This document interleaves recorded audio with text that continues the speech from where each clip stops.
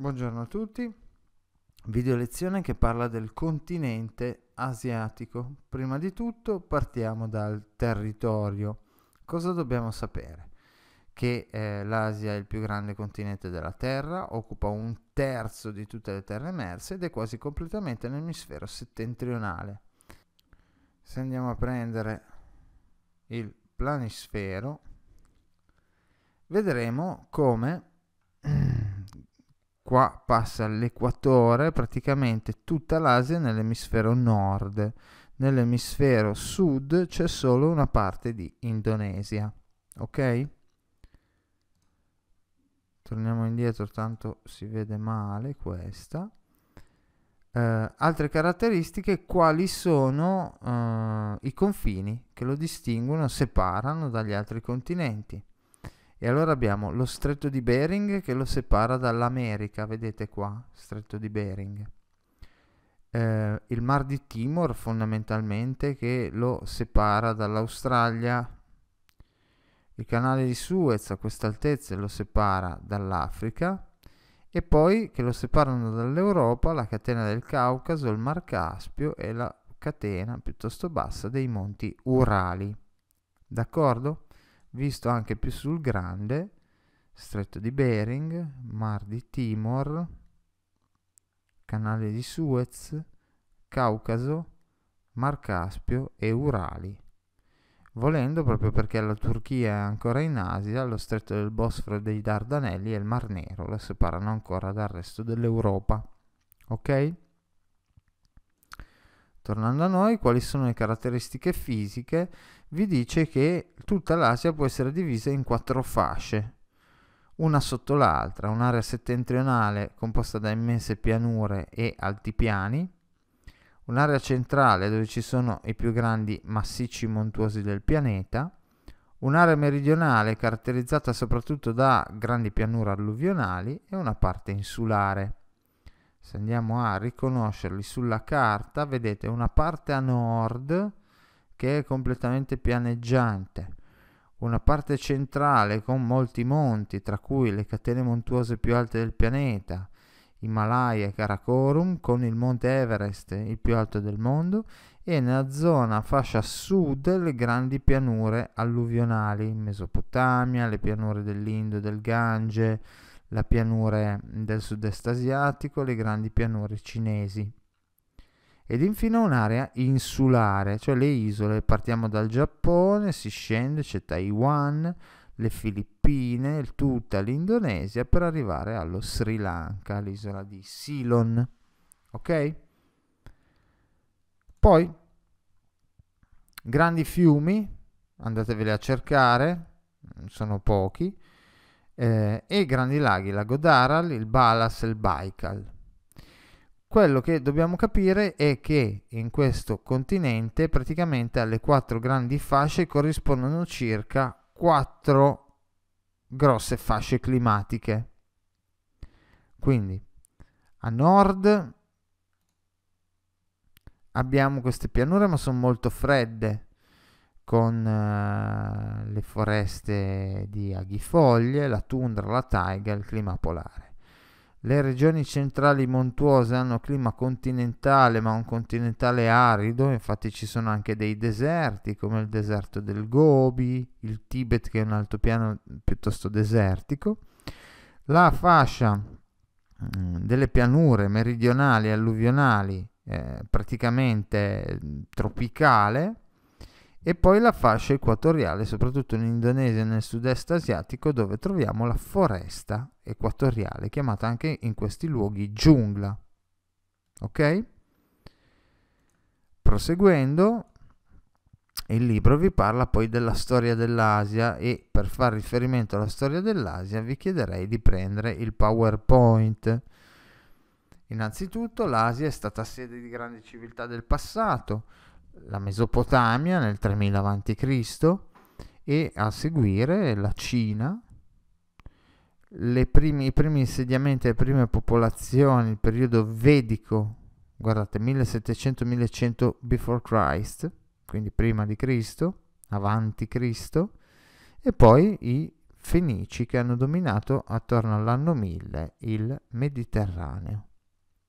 Ma non solo, è anche sede di grandi religioni. Se pensate, tutte le grandi religioni sono nate in Asia. Qua eh, in Israele, nell'attuale Israele, in Palestina, sono nate l'ebraismo e il cristianesimo, in Arabia Saudita è nato l'islamismo, in India è nato l'induismo, in Cina sono nati praticamente il buddismo, il confucianesimo e il taoismo ed è ancora praticata in Giappone lo shintoismo. Quindi tutte le grandi religioni del pianeta sono nate qua e ancora qua in parte eh, sono diffuse. Ad esempio l'Islam, la parte gialla, diffuso in tutta la parte occidentale dell'Asia e nell'isola, nell'Indonesia, nel, nell'arcipelago indonesiano. Mm, l'induismo in India, la Cina che è per metà buddista e per metà confucia- confuciana, c'è anche una buona base di taoismo, il Giappone è shintoista e soprattutto le Filippine, in quanto colonizzate dagli spagnoli, sono ancora oggi cristiane. Grandi civiltà del passato, grandi, i grandi imperi del passato sono stati quelli di Maometto, che hanno conquistato non solo il Medio Oriente, eh, ma portando l'Islam e con la guerra santa ha conquistato l'Africa del Nord, Spagna e Portogallo.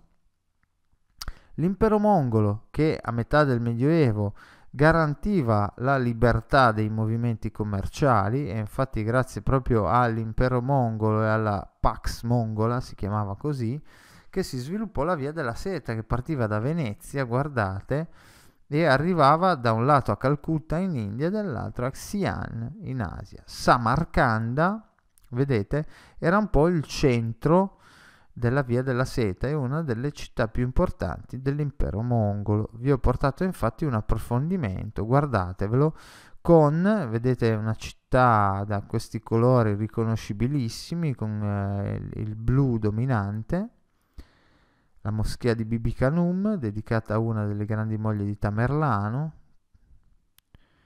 il mausoleo di Tamerlano stesso e la necropoli Shanezindà. Proseguendo, nell'età diciamo così della colonizzazione, l'Asia è stata colonizzata dai portoghesi che possedevano solo dei porti, vedete? Alcuni dei quali ancora oggi molto famosi diventati città enormi come Calcutta, Bombay, detta anche Mumbai, Macao e così via. Poi è stata colonizzata dagli olandesi che raccoglievano le spezie, soprattutto vedete qua nella terra indonesiana, nell'arcipelago indonesiano e in parte dell'India.